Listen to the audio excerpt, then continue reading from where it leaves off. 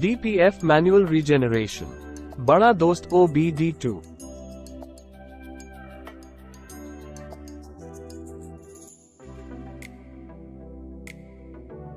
DPF को स्वयं को रीजेनरेशन करने की आवश्यकता है। ये डीपीएफ रीजेनरेशन स्विच है। रीजेनरेशन की समस्याएँ शहर आधारित स्टॉप स्टॉप ड्राइविंग शैली के कारण हो सकती हैं। अन्य संभावित कारणों में गलत तेल का प्रकार, अधूरा दहन और निम्न ईंधन स्तर शामिल हैं।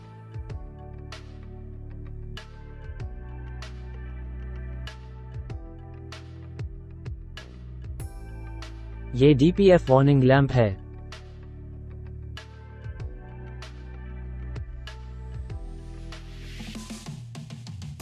वाहन चलाते समय यदि डीपीएफ वार्निंग लैंप चमक रहा है तो इसका मतलब है कि मैनुअल स्विच रीजेनरेशन करना होगा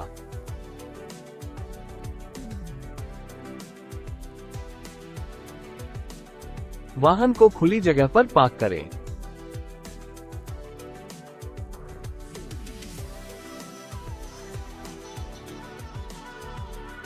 इंजन को गर्म करने के लिए तीन से पाँच मिनट तक एक्सीलरेटर पैडल दबाएँ।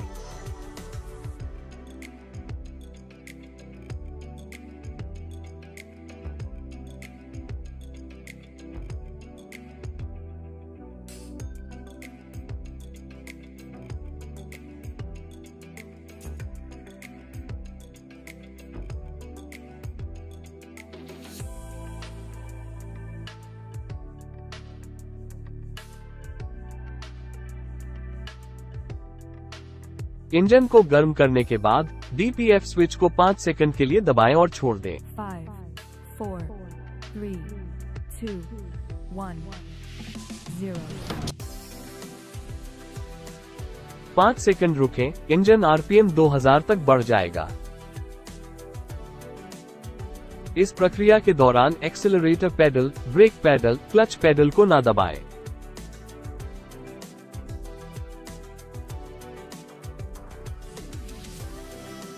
रिजेनरेशन पूरा होने के बाद डीपी फ्लैम्प बंद हो जाएगा और इंजन आरपीएम आइडल हो जाएगा। यह दिखाता है कि मैनुअल रिजेनरेशन पूरा हो गया है।